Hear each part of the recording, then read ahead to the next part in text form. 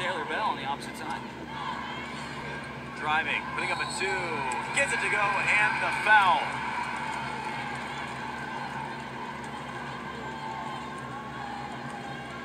But with that, a good team always has a response.